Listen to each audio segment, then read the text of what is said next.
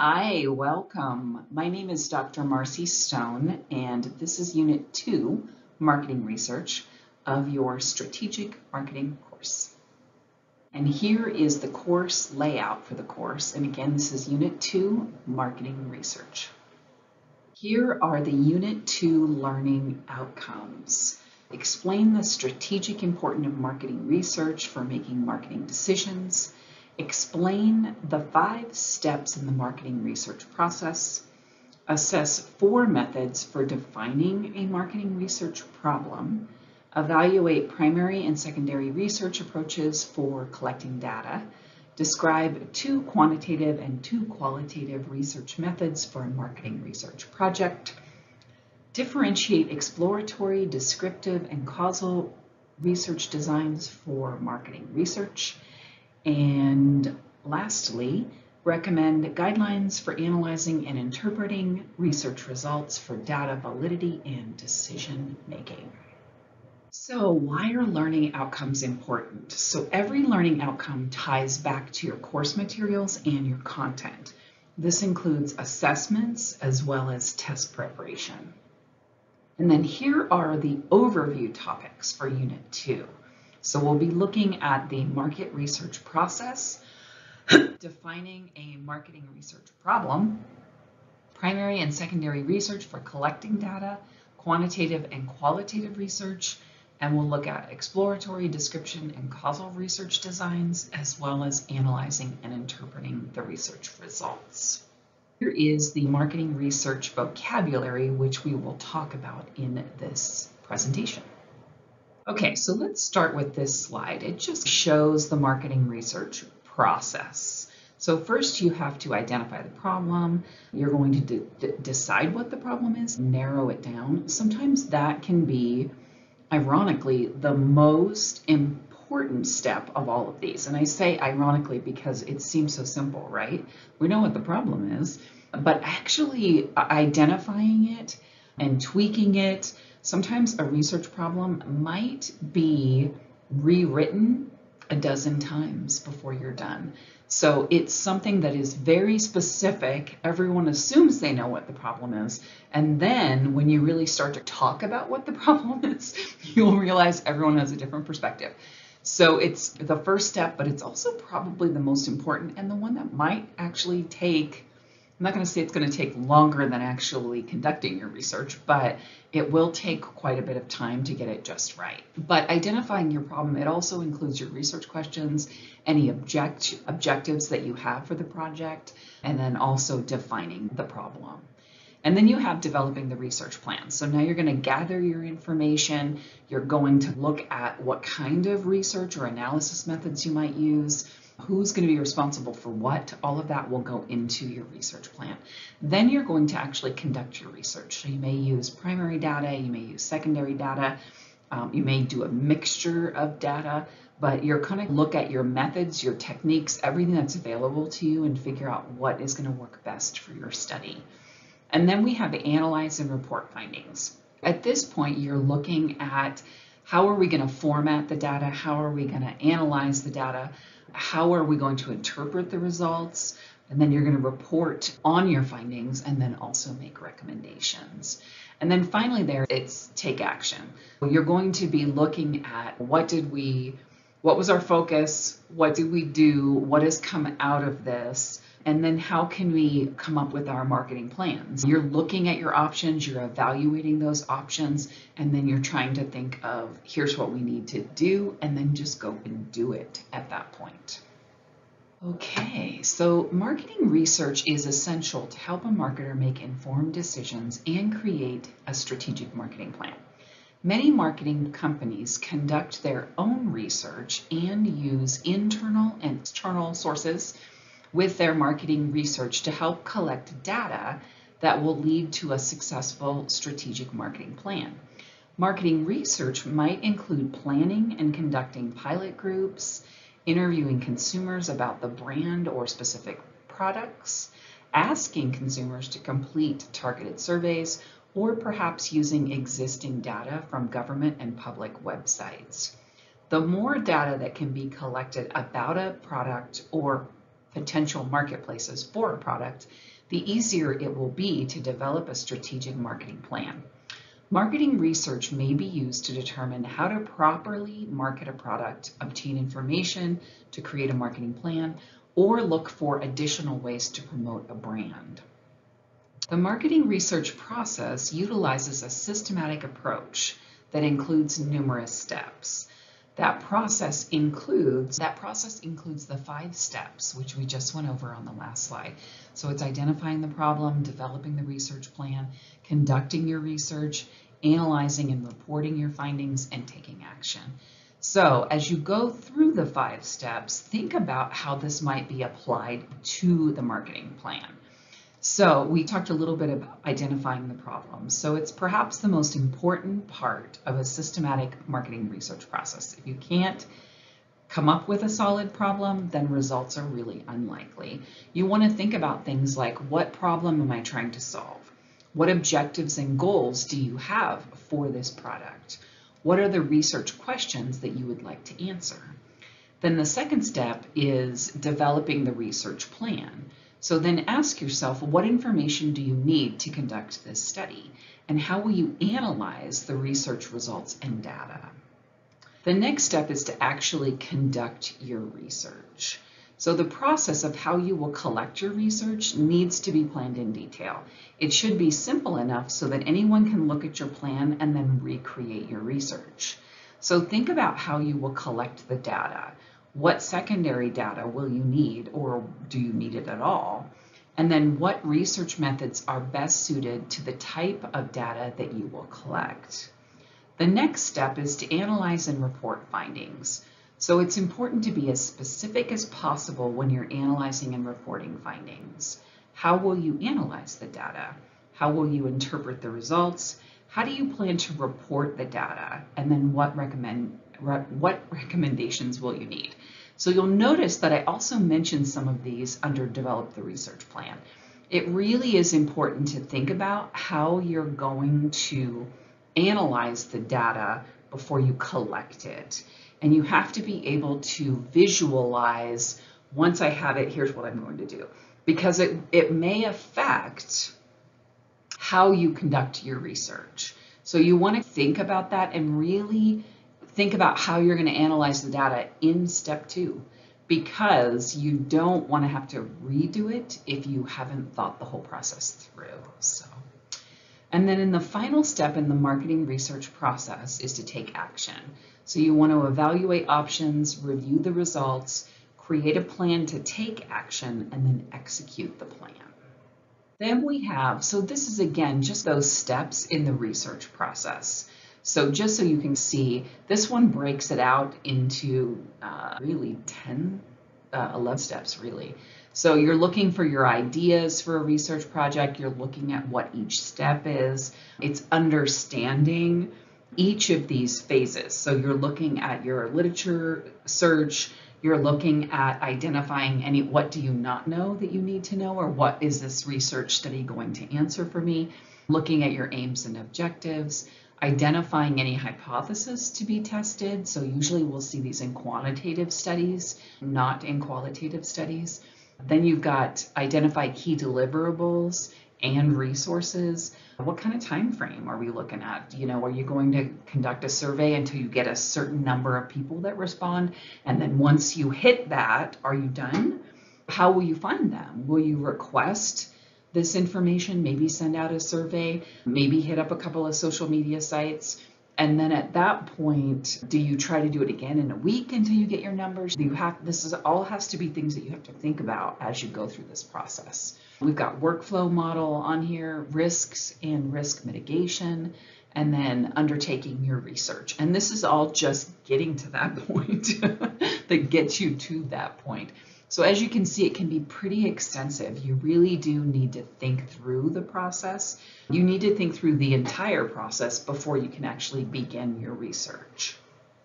Okay, so defining the research problem is perhaps one of the most important steps in the process of conducting research. If you don't know exactly what you're trying to study, then there's no point to conducting research in the first place. So many researchers believe that they understand the problem, but can you simply define it? Defining the specific problem, you will be able to focus your marketing and ensure that you get results that you want from your study. This information will help you to better define strategic marketing plan and learn how to properly promote your brand or products.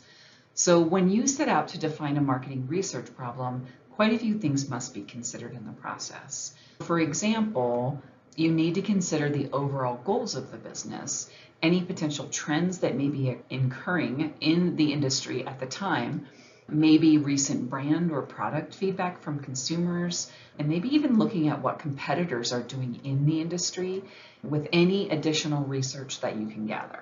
So once you've properly defined your research problem and everyone agrees that is the problem, then you can begin to plan your research and flush out a detailed problem statement. When you are collecting data for your study, it will include primary and potentially secondary research. Understanding the difference between the two is key for conducting research and collecting data. Primary research includes collecting information that will help to answer the research question, and it will require more time and effort than secondary research. So this is the main way, and for some studies the only way, that you will conduct your research. Primary research may include organizing and conducting consumer focus groups in which you will collect information specific to your research question, or you may conduct case studies, or conduct action research, or you may interview consumers, or you might develop a consumer questionnaire and ask potential customers to complete it. Sometimes it's also useful to collect secondary research. This type of research may give validity to your primary research. Not all studies include secondary research, but you may find it extremely useful to conduct. Secondary research may include researching and collecting any existing internal organizational data, searching for detailed information on government websites, or using marketing or industry journals and publications, or you may use existing polling information collected by outside organizations. Secondary research may be needed when primary research does not answer the research question in its entirety, or when gaps are found in the data collection. The difference between primary and secondary research is action. Typically, you will create or conduct primary research and secondary research has already been completed by someone else and you can add secondary research information to your study. Choosing a quantitative or qualitative research study is important when conducting marketing research. After you understand your research question and the direction that you want your study to go, it is then important to choose whether you want to use a quantitative or a qualitative research. For marketing research, qualitative might include a consumer focus group or an in-depth interview. Qualitative research explores ideas and concepts. Questions would include longer open-ended questions that begin with the words such as how and why. Typically, qualitative research can be subjective and more open-ended than a quantitative study because it is not mathematically based but you're looking for people's opinions or attitudes. For marketing research, quantitative research may include consumer surveys or questionnaires. A consumer survey or questionnaire may be conducted after or before a purchase and will ask the consumer how they might use the product or service and for their opinion. Quantitative research may ask short, closed-ended questions that begin with words like how much, how many, or to what extent do you? Typically, a quantitative research is mathematically based. So you may ask questions based on a Likert scale, like a five point Likert scale that's highly agree, generally agree, that kind of thing. And then you analyze the answers as mathematical data.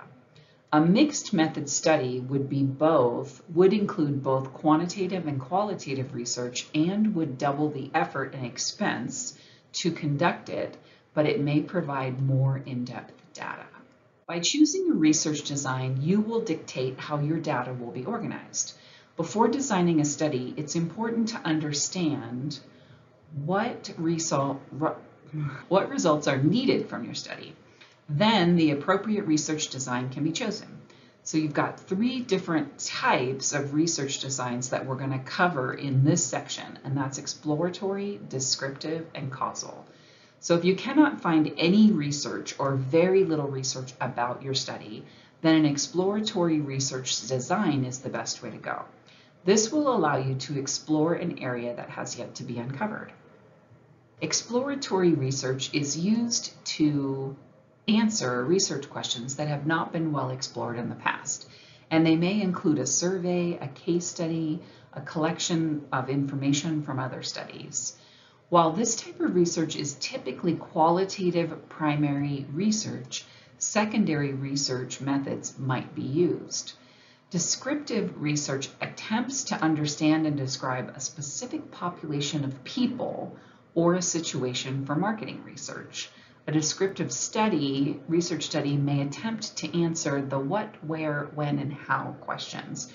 This type of research may use observations, panels, or an analysis of previously completed research.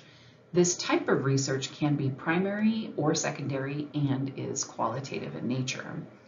Causal design, research design uses experiments as the basis for research and may reviews the cause and effect between two or more variables. A marketing plan using this type of research may attempt to determine the consumer impact regarding changes to a product or features of a product or service. This is primary research and it's typically quantitative in nature. It's important to think about how you intend to plan and analyze and interpret your research results to ensure that your research is unbiased. Properly interpreting research results will help to ensure that the decision-making process is based on facts. For example, if you use inappropriate or lower quality data, for example, blogs versus industry journals, if they're used in a research study, then the decision-making process may not be valid. So it's important that the data reviewed is of an appropriate quality to prevent any inconsistencies. Gray literature is information that can easily be obtained either online or from mass media population, or population publications. This type of data should not be used in marketing research studies because it is of lower quality whereas previously published peer-reviewed studies are of higher quality because of the number of people who have reviewed and approved such literature. Properly interpreting research results is important to determine trends, patterns, or possible correlations in the industry or for specific products and services. This information will be used to complement the marketing plan and make fact-based decisions. Ensuring data validity includes reviewing the quality of data used to ensure that few errors are made in the research pro process and to make informed decisions about products or services. Okay, so today in this presentation, we've covered all of these learning objectives. So we looked at the strategic importance of marketing research. We looked at the five steps in the marketing research process. We looked at defining, we looked at several different ways to define your marketing research problem. We've looked at evaluating primary and secondary research and what those mean. We've looked at quantitative and qualitative research. And then we also covered exploratory, descriptive, and causal research designs. And then we also talked about analyzing and interpreting research results. Okay, so what's next? Unit 3 is on consumer behavior. My name is Dr. Marcy Stone, and I just wanted to say thank you.